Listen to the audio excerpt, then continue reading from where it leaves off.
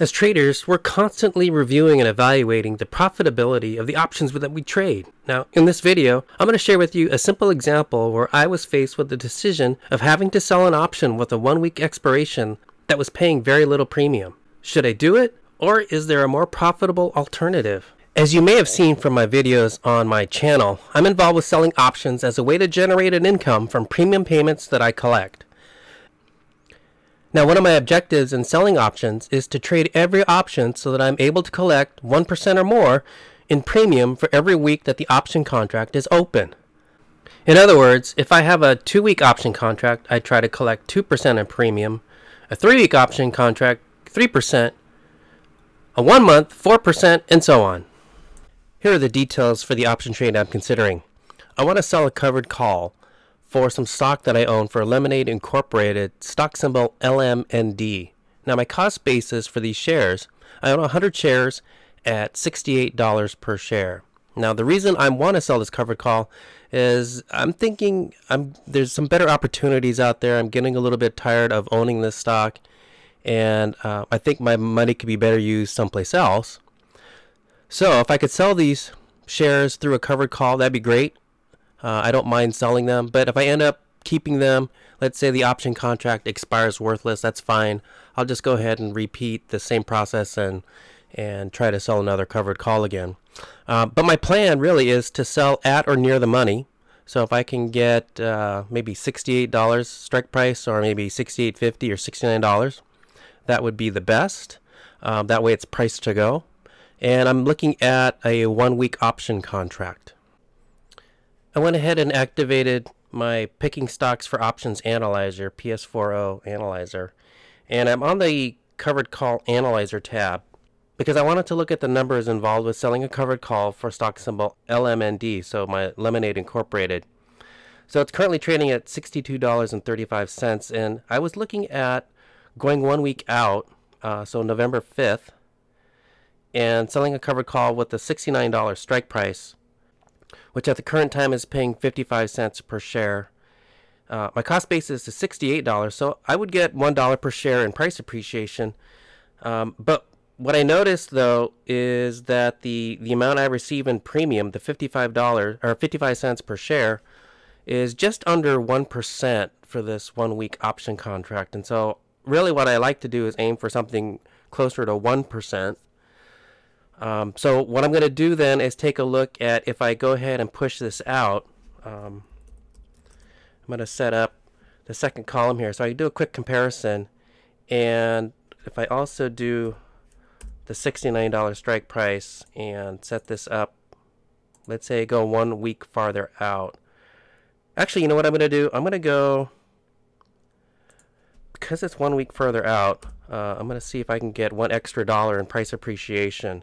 And so if I look at the option chain, I see that it's paying $2.10 uh, per share. And then my cost basis, again, is $68. And so now, now I have a better way of doing a comparison between the two. So in this column here, I'm looking at selling the covered call one week out with a $69 strike price uh, but it only pays 0.81% in premium for that one week. So what I did was I, I entered the same stock, but for a different trade. So this is going to be for two weeks out. So it's 14 days out because I picked a November 12th expiration date. I also added $1 more in um, the strike price so I can capture some more if possible, if this option gets exercised, I'll capture a dollar extra per share in price appreciation.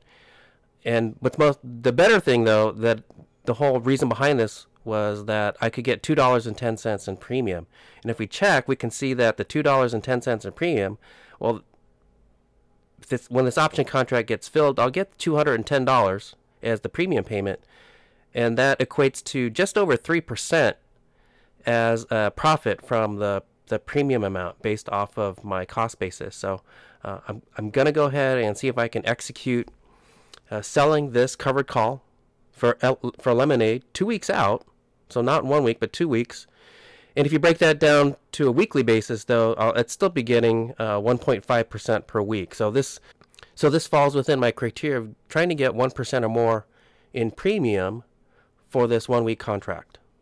If you want to learn more about my PS4o Analyzer tool and see it in action, be sure to register for my Picking Stocks for Options live training session that I'll be holding in November. In this live trading session, I'm going to share with you my three step process that I use for picking stocks for options. I'll also be showing you the resources that I rely upon that help me make these decisions. This includes all the websites and all the tools that I use, including the one here, my PS4o Analyzer tool, that I use for both covered calls and cash secure puts. And because it is live, you'll have a front seat as you watch me use these tools and see the exact buttons I push and the information that I get in making my decisions. I'm finalizing the training curriculum now, and this is going to be two hours of live training, and it may actually go longer if there's enough interest. Because this is a longer training session, I realize that some of you may not be able to stay for the entire time, and that's okay. Or maybe you won't be able to attend at all because of other commitments, and that's okay too. Or maybe it's a difference in the time zones, or you'll only be able to join late, or whatever. That's okay. I've got you covered because I'll be recording everything. And after this training session, you can purchase an all access bundle that includes full video recordings so that you can watch at your convenience, the downloadable audio podcast so that if you want, you can listen to this entire course privately while you're engaged in some other activities and I'm also going to throw in my PDF version of my slides so that you could print, read, make notes, or whatever you want. Plus, as a free bonus, I'm also going to include all of my worksheets, including the Picking Stocks for Options Analyzer. So be sure to register to receive the details of this upcoming training and also receive the special link so that you can access. Just visit my website, simpleoptiontrading.com slash picking stocks for options. If you like the information about my stock picks, then consider joining my Patreon, where I share exclusive videos of my stock picks every week that I'm going to be using for profitable trades. I also include my research notes, stock analysis, and trading strategies for every stock I pick to watch for that week. And of course, all my videos posted on my Patreon are ad free.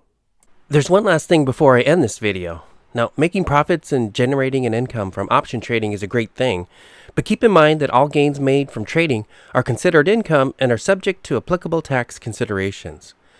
So every month, I save a portion of the profits that I earned in order to pay for my federal and state taxes. So please consult with your CPA, licensed financial advisor, and or tax preparer regarding the tax liabilities for your unique situation.